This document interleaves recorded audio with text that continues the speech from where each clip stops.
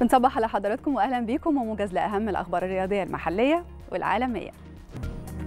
رابطة الأندية المصرية رشحت أربع حراس للتصويت على الأفضل في الدوري للموسم الماضي وهما محمد الشناوي وأحمد الشناوي والمهدي سليمان ومحمد بسام. لجنة الكرة بالنادي البنك الأهلي أعلنت عن التعاقد مع حسن شاهين حارس مرمى المقاولون ومنتخب مصر الأولمبي السابق لمدة ثلاث مواسم في صفقة انتقال حر.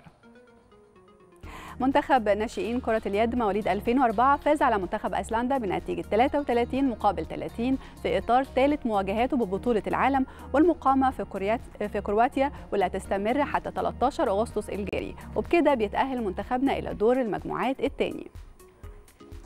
زياد حشاد لاعب منتخب ناشئي كرة اليد مواليد 2004 حصل على أفضل لاعب في مباراة مصر وأيسلندا اللي انتهت بنتيجة 33 مقابل 30.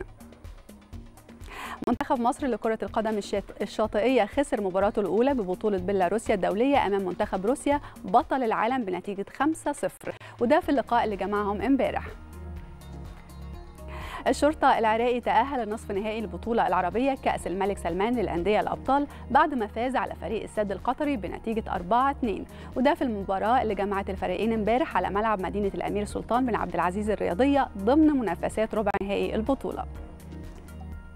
نادي نابولي الإيطالي أعلن تمديد عقد الفريق قائد الفريق لينزو عام حتى سنة 2028 ليواصل مسيرته مع بطل الدوري الإيطالي واللي بدأت منذ عام 2019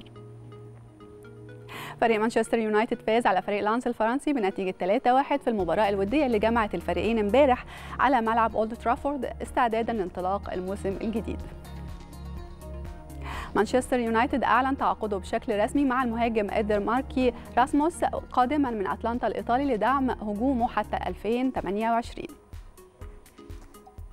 منتخب سيدات اليابان حصل أو حصد بطاقة التأهل إلى ربع نهائي بطولة كأس العالم لسيدات 2023 بعد الفوز على منتخب النرويج بنتيجة 3-1 في المباراة اللي جمعتهم على ملعب استاد وستباك في الدور ثمن النهائي من مونديال السيدات.